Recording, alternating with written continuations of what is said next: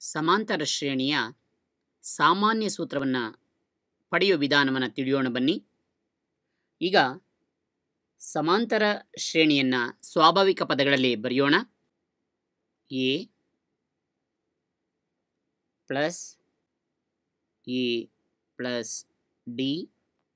ಇಲ್ಲಿ ಡಿಯನ್ನು ಆ್ಯಡ್ ಮಾಡ್ತಾ ಇದ್ದೇವೆ. ಈ ಡಿ ಧನ ಸಂಖ್ಯೆ ಆದರೂ ಆಗಿರ್ಬೋದು, ಋಣ ಸಂಖ್ಯೆ ಆದರೂ ಆಗಿರ್ಬೋದು ಪಾಸಿಟಿವ್ ನಂಬರ್ ಆದರೂ ಆಗಿರ್ಬೋದು, ಇಲ್ಲ ನೆಗೆಟಿವ್ ನಂಬರ್ ಆಗಿದ್ರೂ ಆಗಿರ್ಬೋದು, ಪ್ರತಿಯೊಂದಕ್ಕೂ ಸಹ ಒಂದೊಂದು ಡಿಯನ್ನು ಕೊಡ್ತಾ ಬನ್ನಿ.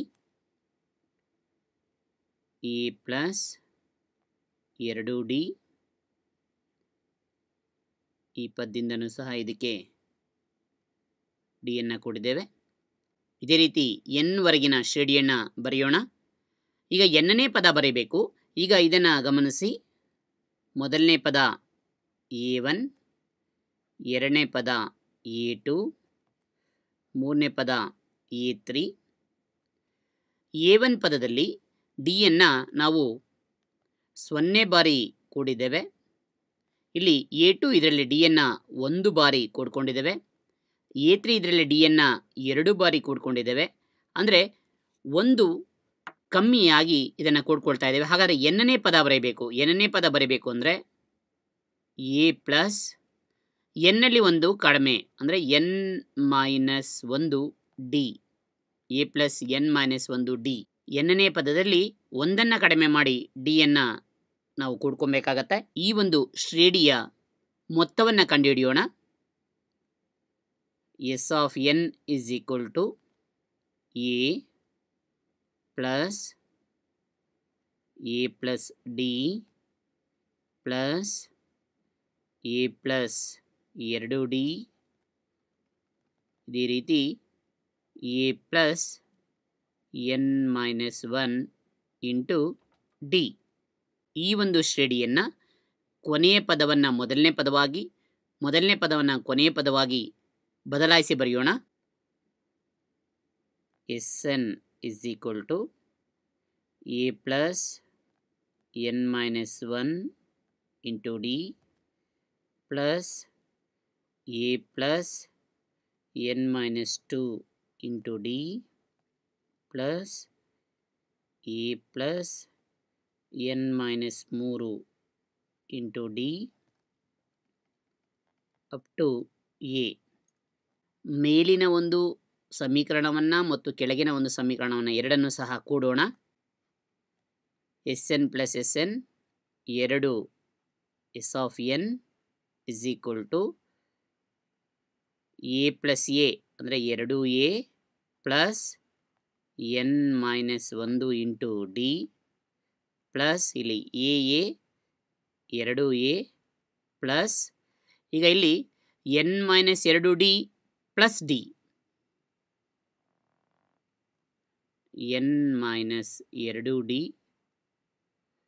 ಪ್ಲಸ್ ಡಿ ಈಗ ಇಲ್ಲಿ ಡಿಯನ್ನು ಕಾಮನ್ ತಗೊಳ್ಳೋಣ. ಡಿಯನ್ನು ಕಾಮನ್ ತೆಗೆದುಕೊಂಡ್ರೆ ಅಲ್ಲಿ ಉಳಿಯುವಂಥದ್ದು ಏನಪ್ಪ ಅಂದರೆ ಎನ್ ಮೈನಸ್ ಎರಡು ಪ್ಲಸ್ ಒಂದು.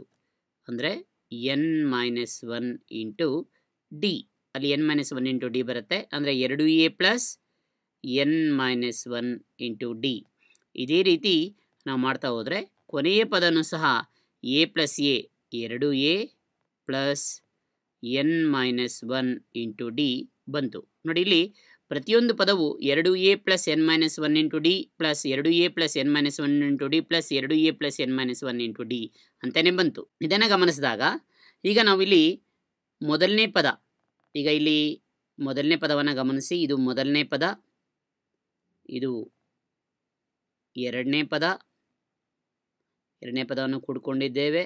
ಅದೇ ರೀತಿ ಎಷ್ಟು ಪದಗಳನ್ನು ಕೂಡ್ಕೊಂಡಿದ್ದೀವಿ ಅಂದರೆ ಎನ್ ಪದಗಳಷ್ಟು ಕೂಡ್ಕೊಂಡಿದ್ದೇವೆ. ಅಂದರೆ ಎರಡು s of n is equal to ಎಷ್ಟು ಬಂದಿದೆಯಪ್ಪ ನಮಗೆ? ಅಂದರೆ ಎರಡು a plus n minus one into ಡಿಗಳು ಎಷ್ಟು ಬಾರಿ ಬಂದಿದೆಯಪ್ಪ ಅಂದರೆ ಎನ್ ಬಾರಿ ಬಂದಿದೆ. ಈಗ ಎರಡೂ ಕಡೆ ಎರಡರಿಂದ ಬಾಗಿಸಿ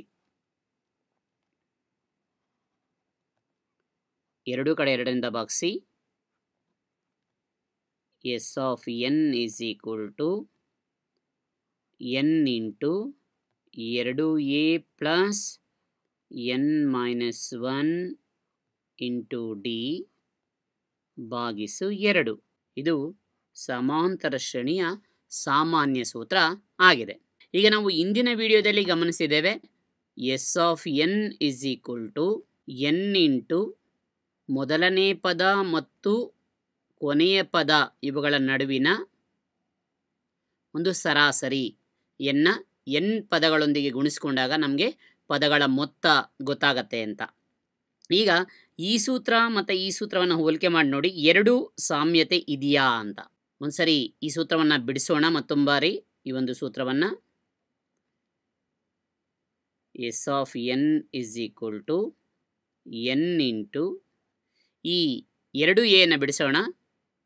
ಎ ಪ್ಲಸ್ ಎ ಅಂತ ಬಿಡಿಸ್ಕೋಣ plus n minus one into d ಭಾಗಿಸು ಎರಡು.